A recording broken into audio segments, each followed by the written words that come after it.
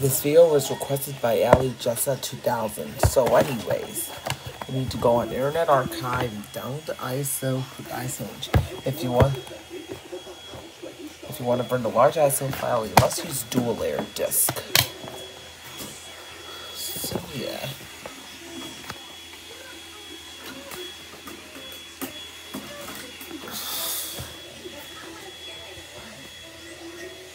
Go to WinISO and you type in the file, the actual file.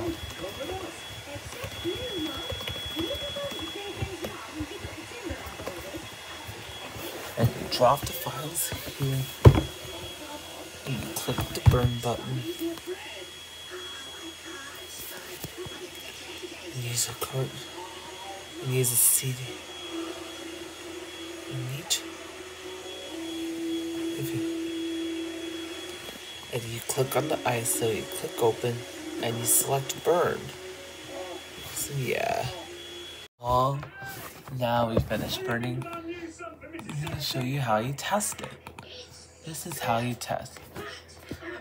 When you're done burning the DVD you have to make sure to check if it works perfectly. Yeah.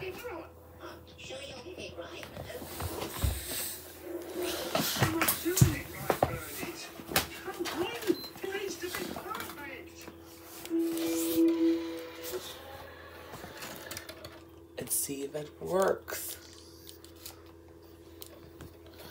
But you test it on your player.